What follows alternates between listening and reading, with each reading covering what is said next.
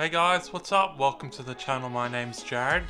Today we're going to be working on my V35 Skyline or G35 Infiniti if you're in America and I've got a throttle body upgrade to install on it to hopefully make some more power.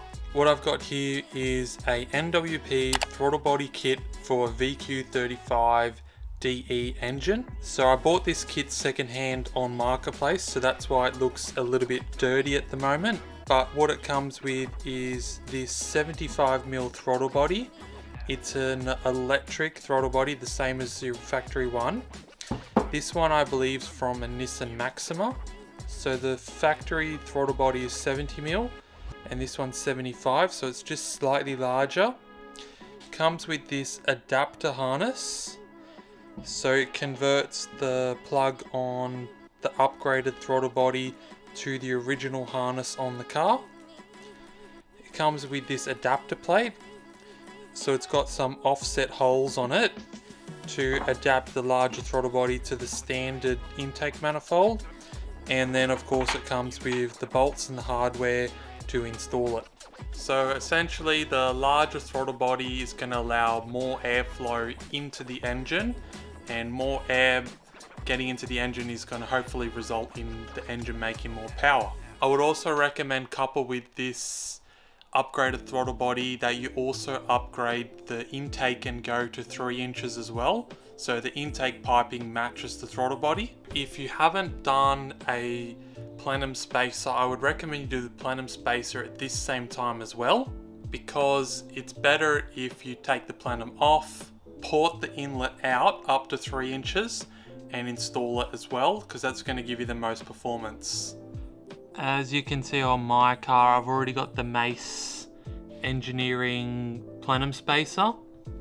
Because I've already got that installed I don't want to take the plenum back off to port it out and install it so I'm just going to put it straight on.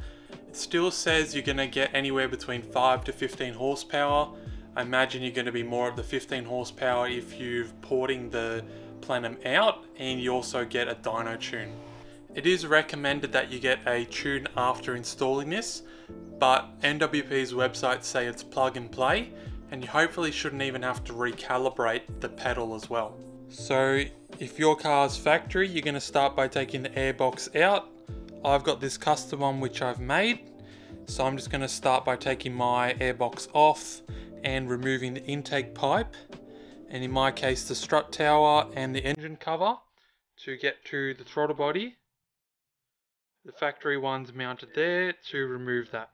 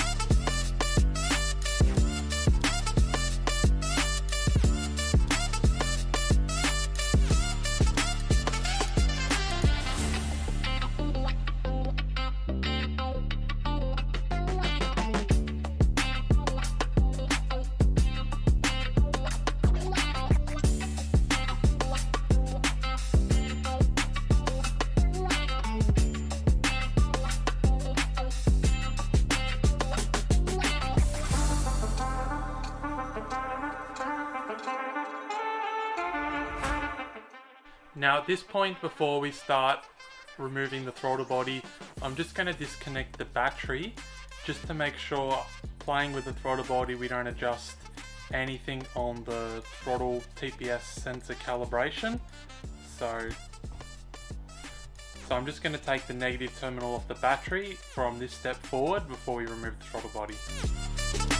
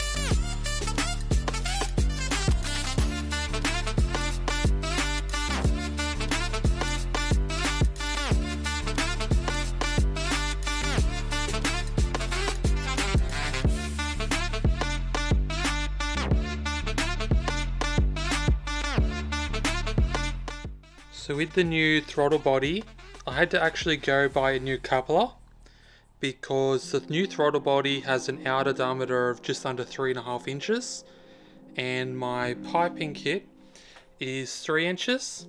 The old throttle body was three inches and this one's three and a half. So you'll need a three and a half to three inch or whatever size intake you have.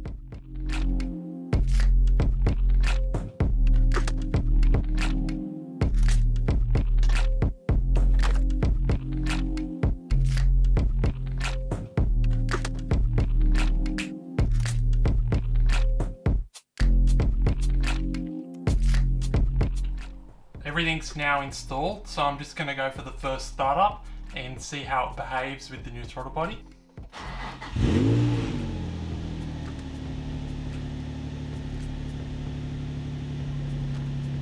It's idling pretty much where it always idles at cold start. And there's no check engine light, which is good. So just let it warm up for a bit and see how it behaves after it's a bit warm. All right, the car's warmed up a bit now, as you can see. So I'm just gonna do a few revs just to check how it goes. Throttle controller's turned off.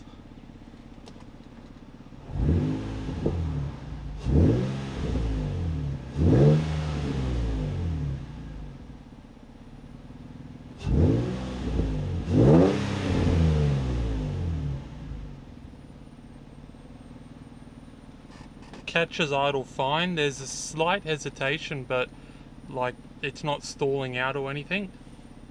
All right, so this is my first impression. Haven't driven the car yet. I've got the throttle controller turned off, so it's not affecting anything at the moment. It is a bit warm, it's 26 outside at the moment. I've got the aircon off just so that doesn't affect anything, but we'll do a few low speed driving and just see how the throttle feels and then we'll do some pulls at the end.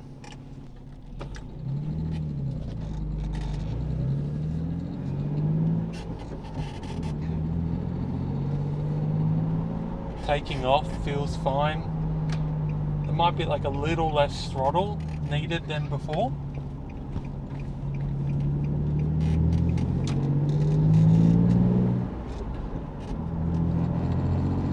acceleration feels fine. It's not jerky. It's not too sensitive.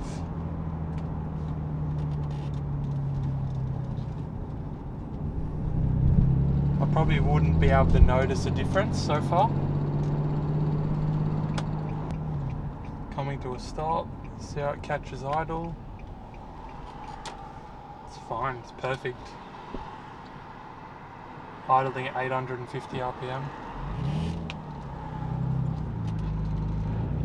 do like a little pull here.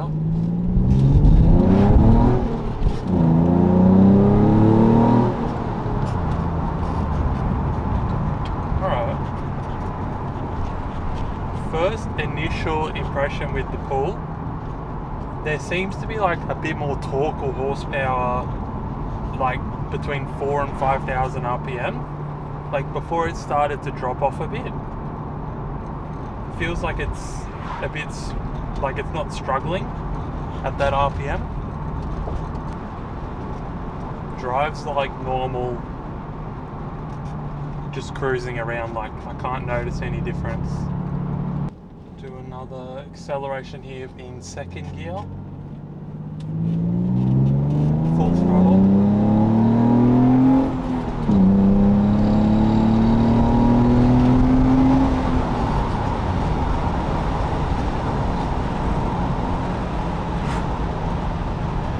can definitely notice up top there's a difference. The engine feels happier. Like before there was this massive like torque dip and normally I would change gear at 5000 RPM because there wasn't much after. But now you can go to 6. I didn't go to redline but even at 6 the engine still feels happy. Do one final pull.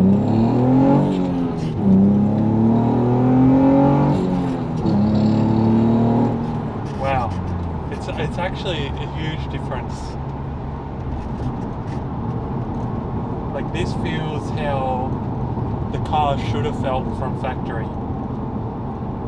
and like I didn't have to do a throttle relearn or anything just whack on this slightly larger throttle body and now the torque feels like way better up top and the drivability is the same like I don't know why Nissan didn't do this from from factory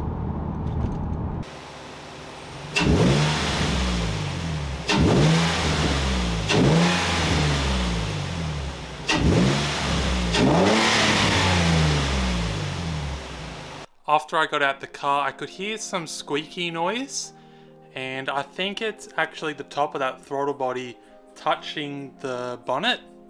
You see there, there's a small mark right above where the throttle body is. And you can see the person who installed it before also had the same rub marks. Alright, that wraps up another video. Hope you guys enjoyed this one. This was super simple, super quick. Probably would have been even quicker if I knew I needed to get that new silicon coupling. But pretty much in store you could have had it off and on in 30, 45 minutes. And actually the gains are just immediately noticeable even without a tune. How much more torque or horsepower is being produced at that 5 or 6,000 RPM range. Like the engine feels more linear now. It's not choking out up top. Highly recommend this to anyone. If you're on a budget, you can buy the adapter plates on eBay, go down your wreckers and get a throttle body and just you can buy the actual adapter harness separately and you could probably do the whole thing under a hundred dollars. But overall yeah super stoked. You guys should definitely do it if you've got a v35 g35 Infiniti. If you like this video like comment subscribe and i'll see you in the next one. Cheers